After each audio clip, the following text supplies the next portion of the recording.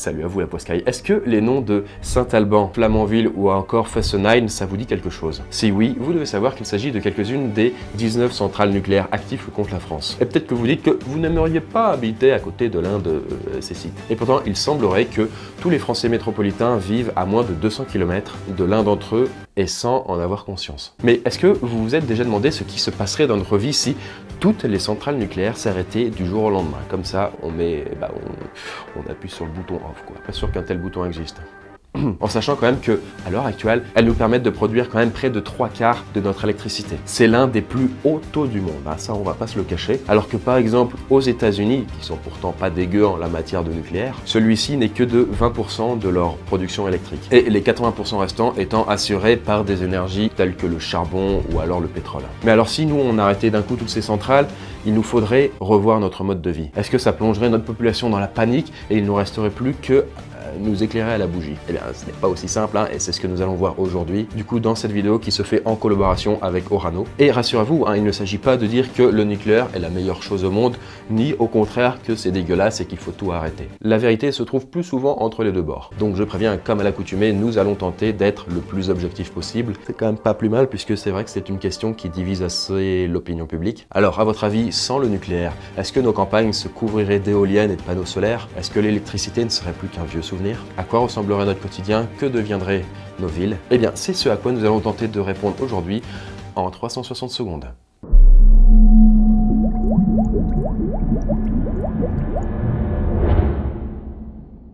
Donc en premier lieu, si les centrales devaient s'arrêter d'un seul coup comme cela, nous serions privés des trois quarts de notre électricité. Et donc dans un premier temps, on se retrouverait dans le noir. Pas très agréable, hein. puisque pour pouvoir réduire notre consommation, c'est très simple, de notre côté, nous serions obligés de réduire de trois quarts notre consommation électrique. Mais alors, Comment faire? Eh bien, on sait par exemple déjà que l'électroménager compte de 17% en moyenne dans la consommation électrique des foyers français. Et pour faire fonctionner ces 17% avec les 1 quart d'électricité qui nous resterait, vous devriez par exemple économiser sur vos lumières qui comptent pour 10% ou encore votre chauffage qui compte pour plus de la moitié, 55% de l'électricité. Si on ne peut pas compter sur les centrales nucléaires, à part elles, qu'est-ce qui produit de l'électricité en France? Eh bien 15% c'est l'hydraulique des barrages, 5% c'est l'énergie solaire, 3% l'éolien et 2% c'est d'autres énergies renouvelables comme la biomasse. Le seul problème c'est que à part l'hydraulique, toutes les autres énergies qu'on a citées sont plutôt intermittentes. Oui parce que comment on fait un jour avec un temps gris pour les panneaux solaires ou encore s'il n'y a pas de vent pour les éoliennes? Si la météo refuse de coopérer,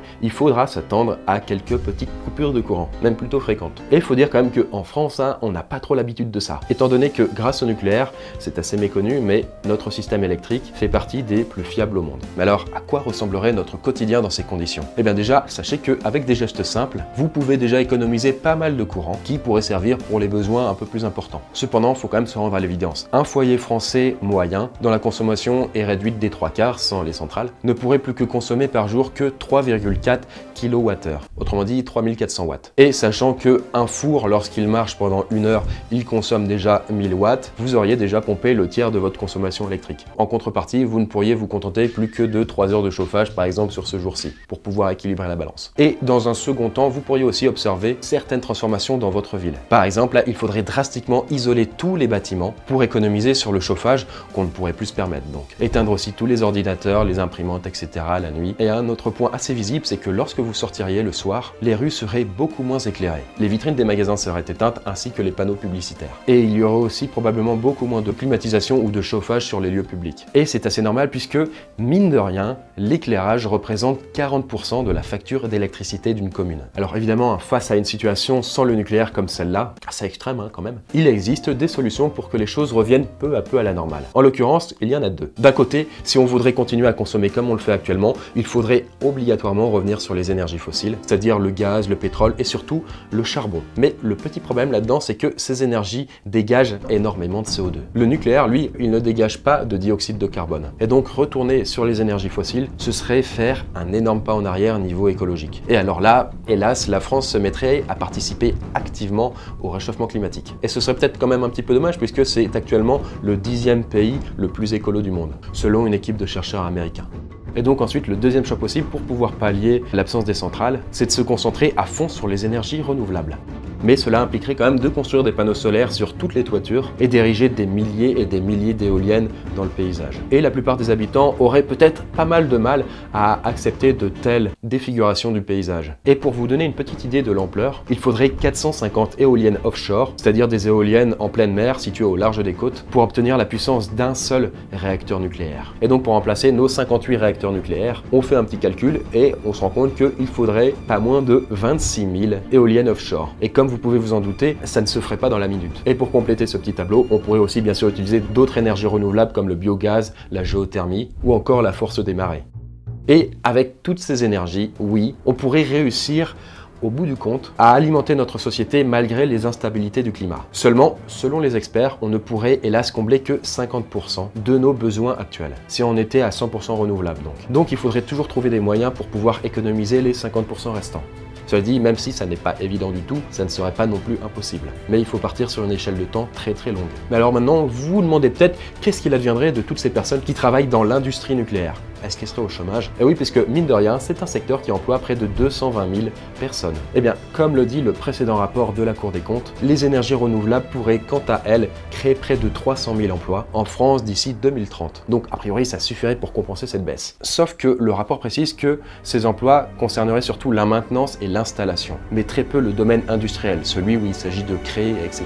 Donc en gros, ça ne servirait que pour installer et réparer les éoliennes. Et la mauvaise nouvelle, bah, c'est que les gens qui travaillent dans le nucléaire ne feront pas partie des chanceux qui en profiteront, puisque leur domaine relève plutôt de l'industriel. Voilà, c'est pas vraiment le même cœur de métier quoi. Voilà, en conclusion, la France utilise beaucoup le nucléaire à l'heure actuelle, c'est pas une surprise. Et la fermeture soudaine de toutes ces centrales ne pourrait aboutir qu'à beaucoup de difficultés. Il ne faut pas oublier que la France est très différente d'autres pays tels que l'Allemagne, qui dépend beaucoup du charbon et qui a la chance d'en avoir beaucoup dans ses sols, ou encore d'un pays comme le Costa Rica, dont l'électricité provient facilement des barrages et du soleil. En tout cas, ce qui est sûr, c'est que la France ne pourrait pas du jour au lendemain combler 100% de ses besoins sans faire appel au nucléaire, et sans le recours à des énergies fossiles extrêmement polluantes. Et donc, à moins de réduire drastiquement notre électrique et donc de faire beaucoup de sacrifices. On a donc tout intérêt à prendre le temps d'investir dans les énergies renouvelables oui, parce que de toute façon, il y aura bien un moment où il faudra réfléchir à une vraie transition énergétique. Et selon certaines études, d'ici 100 ans, l'uranium dont se servent nos centrales arrivera à manquer, et à moins qu'on développe de nouveaux types de réacteurs ou qu'on découvre comment utiliser la fusion nucléaire, il faudra bien trouver un moyen de se débrouiller. Alors, avant 2100, serons-nous capables de nous diriger vers une consommation un peu plus raisonnable et qui nous permettrait de développer nos énergies renouvelables en même temps que nos centrales? Ou alors, comme les prédictions l'annoncent, les besoins de nos sociétés vont continuer à grimper encore et encore, ne nous laissant ainsi pas d'autre choix que de continuer à persister dans la voie du nucléaire? Voilà, merci d'avoir vu la vidéo. N'hésitez pas à vous abonner pour suivre les autres. Alors oui, la question de l'énergie fait partie d'un débat assez long et qui agite pas mal les passions. Et pour cause, parce que c'est une affaire très compliquée. Tout type d'énergie a ses avantages et ses inconvénients, que ce soit le nucléaire, le renouvelable ou les énergies fossiles. Et la France étant l'un des précurseurs dans l'énergie de l'atome, cela explique aussi pourquoi c'est aussi difficile de euh, s'en retirer. D'ailleurs, le gouvernement français a décidé de faire s'exprimer les citoyens au travers d'un débat public sur la transition énergétique. Donc n'hésitez pas à donner votre avis. Quoi qu'il en soit, vous avez toutes les sources pour pouvoir enrichir votre avis. Moi, je vous fais une bise sur les nageoires et je vous dis à la revoyeur.